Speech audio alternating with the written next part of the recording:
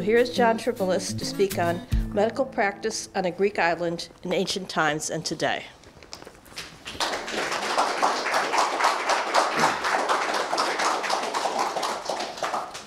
Uh, Thank you for having me. Um, I'm honored to be invited here.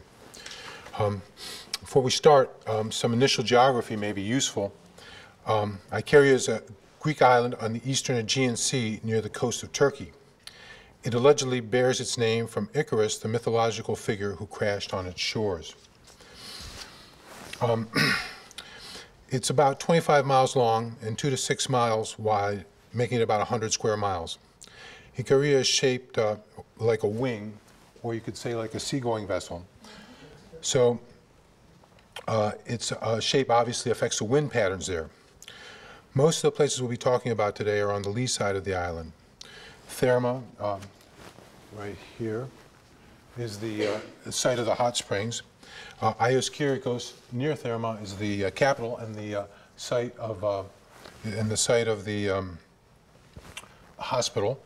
And actually, this Therma Lefkas is the site of the uh, leper colony that we're going to be talking about. Uh, It's a relatively isolated island with an obscure history, but lately has received much attention because the European Union's released statistics indicating that people on the island enjoyed a longer lifespan than anywhere else in Europe. I was born and raised in Cleveland, Ohio, but currently practice medicine in the General Hospital of Ikaria. I'm trained as a general surgeon, and I've been in practice there for just over five years. My father and my paternal grandfather, also physicians, were born on Ikaria Island, and the continuity for me is personally rewarding. Fairly often at work, I'll hear stories about my father's and my grandfather's patient care, and it's also rewarding that many of my father's and even my grandfather's patients are today my patients. Some of the reasons why a large percentage of people on this island reach the century mark may be the following. I mentioned that Ikaria is isolated. This is because it is uh, rugged, because of its uh, rugged mountainous terrain and its lack of a natural harbor. As a result, it did not play a major role in rich in the rich ancient history of Greece, and even today, it is until recently an obscure region. In medical terms, this is not necessarily bad. Plagues and outbreaks of contagious infectious diseases were, for the most part, unknown on the island. Other boons to health are the island's plentiful water supply, which is lacking in many other Aegean islands. Ikaria is situated in the Aegean in a way that exposes it to winds more than any other islands.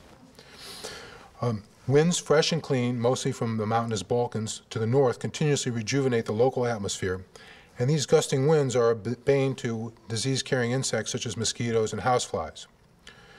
One of the few visitors that came to Ikaria in the pre-modern period was an Orthodox bishop named Joseph Georgirenes.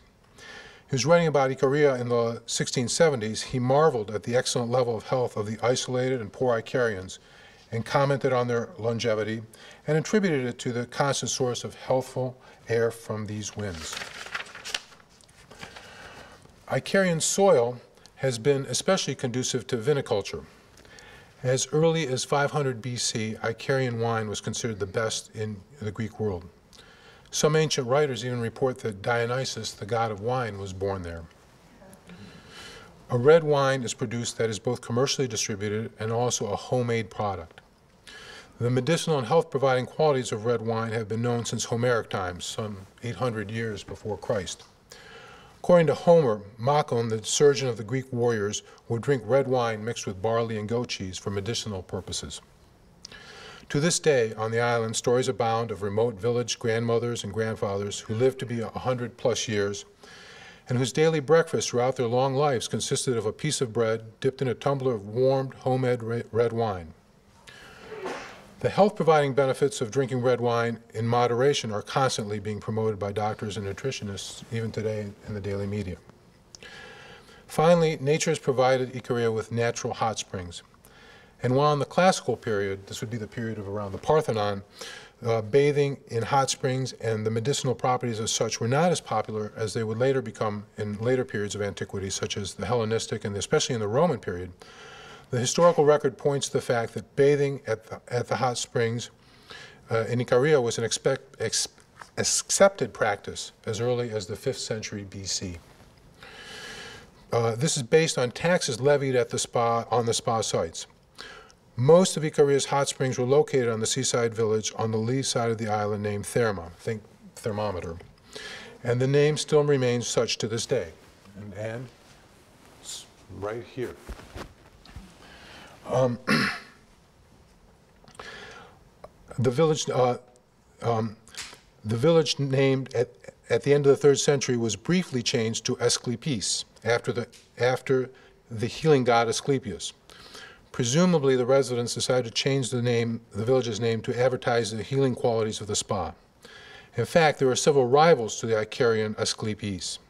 There was also an Asclepion on the island of Kos, the home of Hippocrates, which offered hydrotherapy. It was built in the middle of the third century BC and opened its doors shortly before the naming of Icar the new name of Icaria's Therma village to Asclepius. This name, Asclepius, for the village lasted only about five years, from about 205 BC to 200 BC. And then the name disappeared from all known records.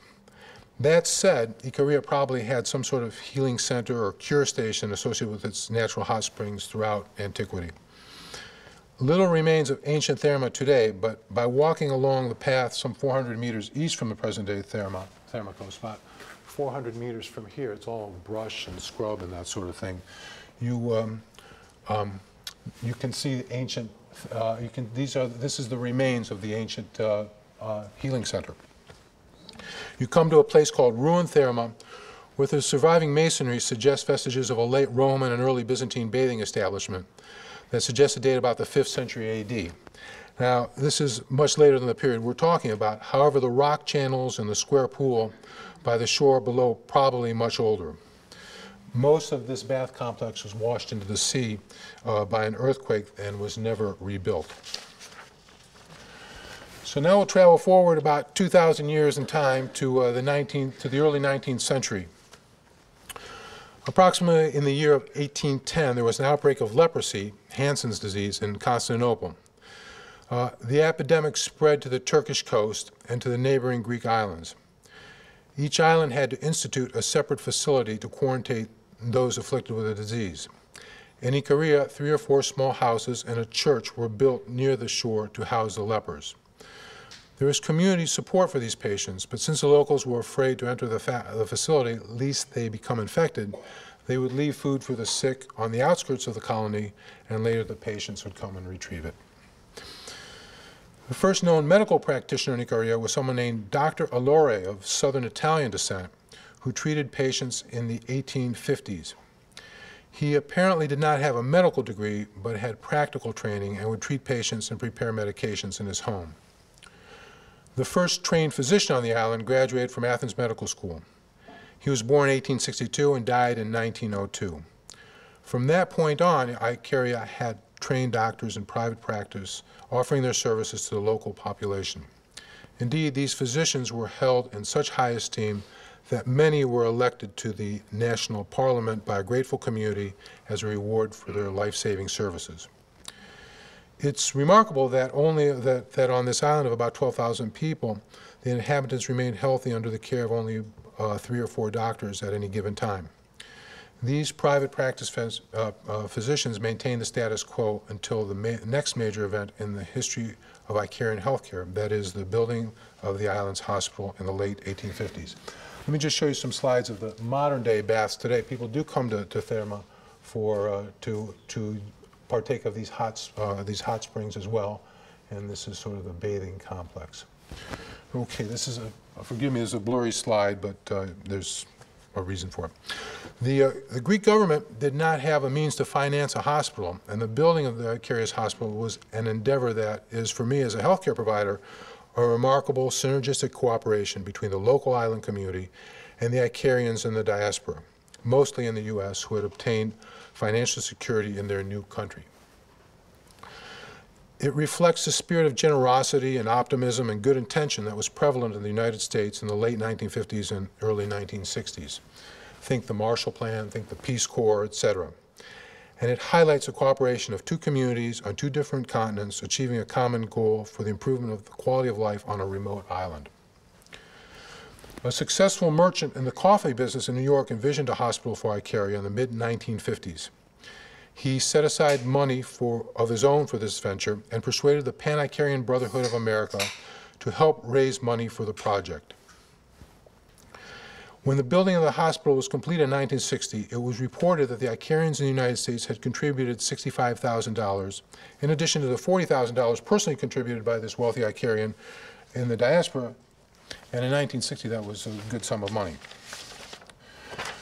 Concurrent with the philanthropy of the Icarian Americans, a local organization was founded uh, that roughly translated as the Ladies and Gentlemen's Club that was involved in the fundraising of the hospital on the island, as well as feeding and attending to the needs of the, uh, of the building site workers, and most importantly, organizing work crews from the various island villages. Each village was asked to send its residents on specific days to the construction site. These volunteers would assist with the manual labor and do related work on the site. As a result, establishing the hospital was truly a communal effort by the local and the diaspora Icarians. Uh, it's- I know it's blurry, but this is a, a group of villagers who had come to work that day and were photographed uh, as the hospital was being built. And this is the hospital. Were they look- volunteering their service? They were volunteering their services, yes. And this is the hospital, it- the first manifestation of the hospital. Uh, Some, uh, some clinical uh, situations were beyond the- the scope of capability of, uh, oh, building the hospital was one, was one thing, but it was uh, soon uh, discovered that the funds were needed to uh, maintain it. The Icarians persuaded the Hellenic chapter of the International Red Cross to manage the hospital. From its inaugural year in 1960 until 1988, when it joined the National Health Service, it was, uh, was under the auspices of the Red Cross. When the hospital first opened its doors, its staff consisted of one physician, six nurses, one midwife, four cleaners, one cook, and one laundry worker. From 1961 until 1984, there was only one physician on, on staff at the hospital, and he was trained as an obstetrician gynecologist, but he did pretty much everything. He's well known. If he did surgery, he did medicine, he did pediatrics, he did everything. Um, some clinical situations were beyond the scope, the capability of, of Icarius Hospital, and in the 1960s and 1970s, some were even beyond the capabilities of the great hospitals in Athens. To address this, the Pan-Icarian Brotherhood of America created the Pan-Icarian Foundation, whose charitable mission was to fund the open heart surgeries of Icarian children in need. From 1965 until 1981, the foundation funded some 30 such operations performed by Dr. Robert Litwak at Mount Sinai Hospital, in New York. Sadly, uh, Dr. Litwak recently died this past July, and I had the privilege of meeting Dr. Litwak when I was a medical student. Uh, today, while Ikaria has the second smallest hospital in Greece, Ikaria's hospital is the island's largest employer, with a staff of about 200 employees, including 20 attending physicians representing all the major specialties in medicine, plus imaging, anesthesia, laboratory services, and blood banking. The National Health Service also provides sea and air transport for patients who require tertiary care. And this is the, what the hospital looks, looks like today. And they've added a wing over there. This is the, the group, this is the, where I work. And, me go back a little. Now, uh, with all this background, we can speculate how Ikaria became one of, one of the regions where people live the longest. Dan Buettner, a self-described explorer, educator, author, and public speecher, speaker, who in 2005 wrote an article in National Geographic magazine about small pockets on the planet that were coined blue zones. At these blue zone areas, people live measurably longer lives and have a larger percentage of nonagenarians and centenarians than any parts, other parts of the world. Initially, Buettner discovered three such blue zones, Sardinia Island, Okinawa, and Loma Linda, California. Since then, the Nicoya Peninsula of Costa Rica and Icaria Island have been added to the list. A, a year ago, in the October 24th issue of the New York Times Magazine, Buettner published an article provocatively titled The Island Where People Forgot to Die, about his exploration of the longevity factor on Ikaria Island. It's reported that this article was the magazine's second most widely read last year. In the article, he interviews a series of Icaria's nonagenarians and centenarians and visits their home and does their best to probe into the secret of their long lives. Needless to say, there's a tremendous amount of interest in these types of stories, which give the impression um, that these centenarians have some strategy to live long lives. But in some ways, Buettner misses the point.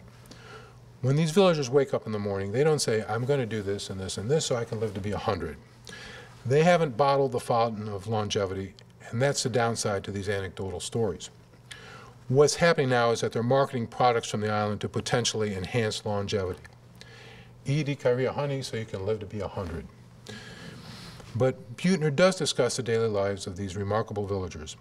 It's a lifestyle that has been followed by for centuries that includes physical labor such as gardening, walking a lot, eating low on the food chain, moderate consumption of red wine, and being an active member of the community that is interacting with all age groups in the community.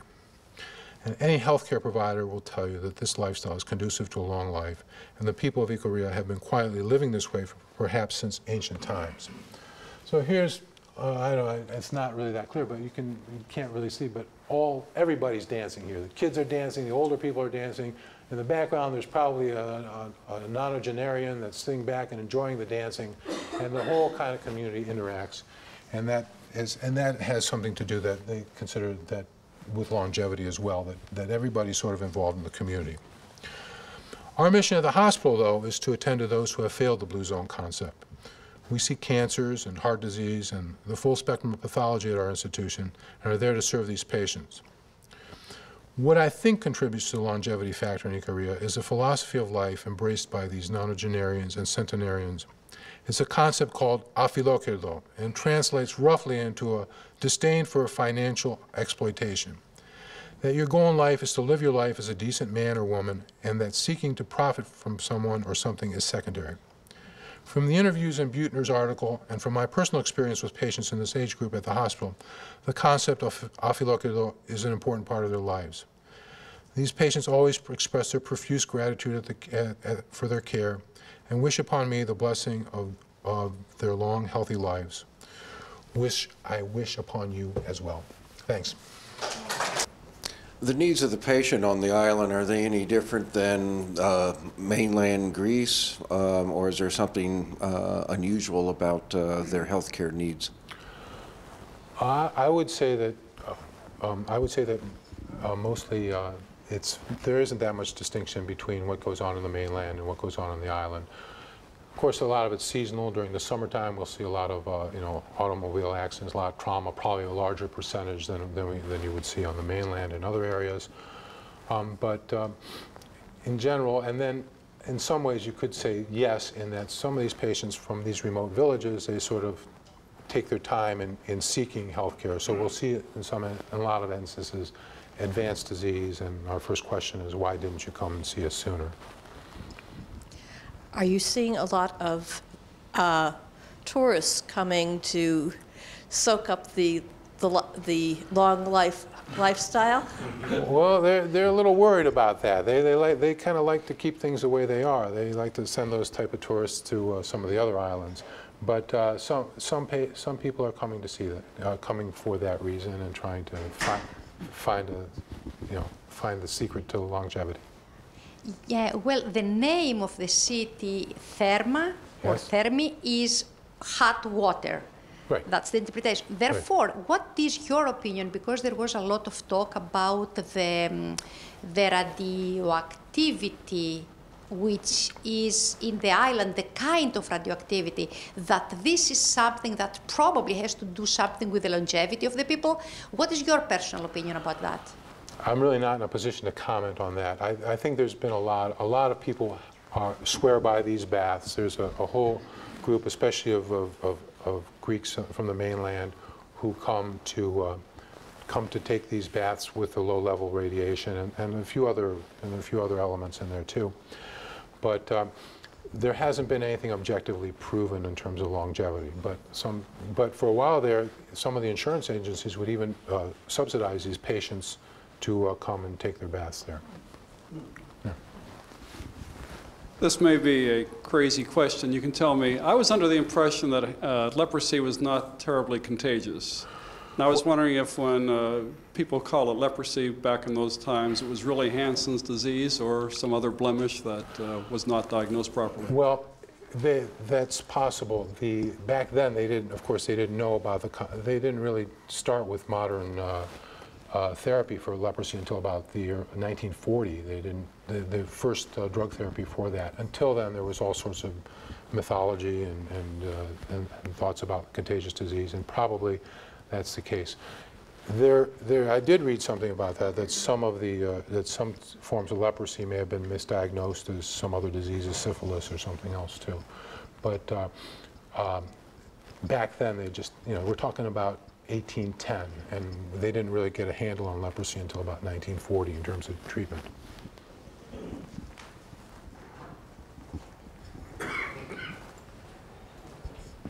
What about the young people on the island? Do they want to stay there or do they want to escape? Well, it's, it's funny, they, they do actually want to stay there, although their job prospects aren't, aren't, you know, well, they aren't good anywhere in Greece these days, but they, they, um, there's a good uh, young, young person community and uh, they enjoy their lives there. And family is very strong, so people do, do stay, do, uh, do, do stick around. Thank you. Thanks for uh, presenting again, Dr. Kibalas. Um, chronic disease, do you see, or, you know, you mentioned that you do have, you know, subset of, you know, patients, or you do see things that we traditionally consider, you know, chronic disease, heart disease, diabetes perhaps. Do you see those in patients that are, you know, traditionally older or, or older than we would expect over here? You know, or you see 80-year-old, 90-year-olds with diabetes? And, and how is it, is it, if you do, are they managed differently, or is it, you know? Um, It's, it's a little bit of a difficult, it's a little bit out of my bailiwick as a general surgeon. What we'll, we'll see is mostly the trauma and the hot bellies and the, and, and the surgical diseases. So I'm, I'm not really in a, in a good situation to comment on, on, uh, on chronic disease. But they do have, uh, they, are, um, they are taken care of and they, uh, they uh, seen, that's about the best I can tell you. Doing amputations for uh, peripheral vascular disease associated with um, With, with, diabetes? we do our best not to, but yeah, we, we have to do occasionally. We, I, we've done a couple, yeah. Yeah.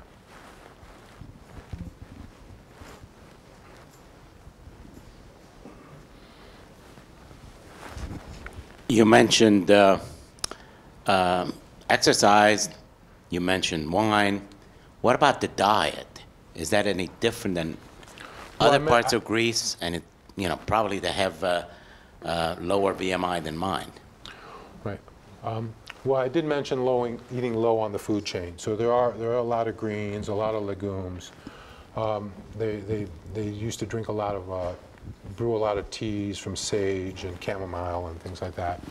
Um, So the- there is, now, but that's all starting to change as well, too. I think the next generation isn't going to be as long-living as their, as their predecessors. You can go to the supermarket now and find potato chips and junk food and anything you want there.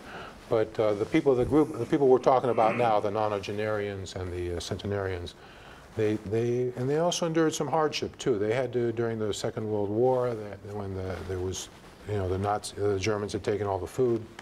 Uh, they had to, you know, scramble and, and sort of live off the land as best as they could, and that probably added some years to their life as well. How does the island's um, Alzheimer's rate compare with other similarly situated communities? We, we, we do have, uh, I've seen my share of patients with, with Alzheimer's. Now, I, we don't really have a statistical bank, so I can tell you that, that, that supposedly, according to the statistics that have been put out, that there is a lower rate of Alzheimer's disease.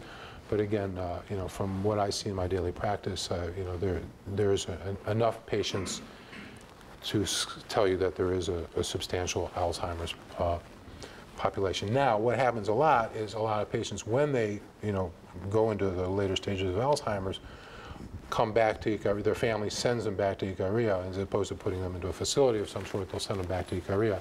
So you'll see patients who have lived a lot of their life, of Icarian descent, who have lived a lot of their lives on the mainland, coming out to finish their lives on, on the island. Um, when I was um, on the island last month, um, I was told that people who had uh, advanced kidney disease were taken every day to a neighboring island to have dialysis and were coming back the same day, that three times a week. Uh, what about when it's, the, it's a small boat too? What happens when the weather is really bad? Can you comment on that, please? Uh, It's, it's uh, one of the limitations of the National Healthcare Service that we do not have a dialysis facility for these patients. And a lot of that is just, you know, management issues that, you know, making it cost-effective and that sort of thing. At this point, it's considered more cost-effective to have these patients go to neighboring Samos Island and have the dialysis done there.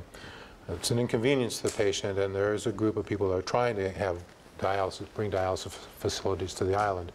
But uh, at this point in time, it's exactly as you say. And when the weather's bad, they just have to stay put on the other island and, you know, keep. Uh, But do- then you'll die. What's that?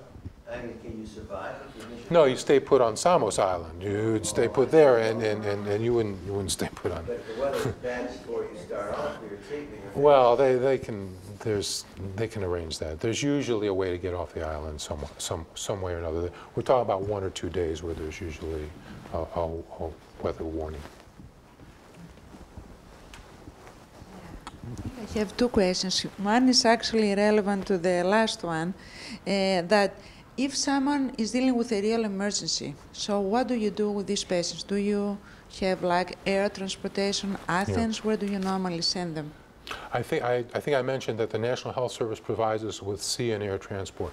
So Okay, happen if there's something that, that, that we can't handle is that I'll pick up the phone, I'll talk to a center in Athens, I'll present the case to the, to the doctors there, and I'll arrange the transport of that patient.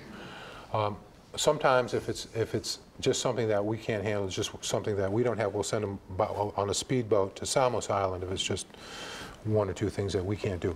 If it's something even more significant, they will send a, a helicopter or an airplane to pick mm-hmm. up the patient. And I think that's something very generous considering the, you know, the mm-hmm. financial crisis that Greece is under, that mm-hmm. they'll pick up a, pick up a airplane and uh, send it out to help somebody Yeah. for a cold leg, for example, or something like that. My next question is if there was, and that's probably not a fair question, but if it was one thing that you will do different, living and practicing as a physician on the island for five years now, what will that be? That will have the, the most significant impact on the healthcare of the island. Um, hmm, uh, that's, that's a good question. I have to give that a think. Um, if there was one thing to do that, that would improve the healthcare, the healthcare situation, um, I- well, you, you, you're sort of asking me to revamp the whole system the way it's set up. Uh, as it is right now, I mean, we could always get, say, a dialysis situation. We're working, it happens that we don't have a CT scanner. If we could get a CT scanner, that, that for me would make my life so much better. And we, a lot of times, that's one of the things we have to send the patients to the next island over, is to get a, a head CT on, on patients that may or may not need them. And um, so I would say it would be something like that, just, just to be able to get, you know, one or two other items of equipment that would, uh, make, that would, uh, you know, make things just a little bit better. Yes. One question along the lines of moving patients from the island to Athens to receive better care. When and if these patients die, do they count as deaths of Icarians in Icaria or in Athens? My question really is, is there a self-filtering effect so that Well, only the healthy stay on the island and the numbers look better that way?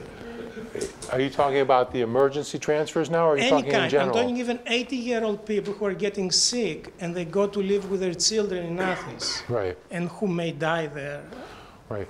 Well, I don't know how they, that's a good question, how they count the statistics, uh, uh, how, how these statistics were. There's no correction for that. There's no correction. And a lot of this is, there's a lot of, uh, you know, a lot of it's skewed. I'm, I'm, I'm pretty sure about that. Well, I'd like one comment and one question about the radioactive baths or radiant baths. Uh, when I first went to the island way back in the 60s, they were trying to promote tourism and they, were, they painted on the mole in English, trying to attract people, welcome to the island of radioactivity. and uh, that uh, proved to be counterproductive. After it is, took them a while to realize that, and they, it's no longer there. Uh, the, um, uh, and the second point um, that uh, uh, Dr. Fidus uh, just uh, made about um, the uh, statistics uh, about, you know, uh, it, it was an interesting question, but I think it was an important question because it bears upon the uh, European Union's uh, statistics about people living longer on the island.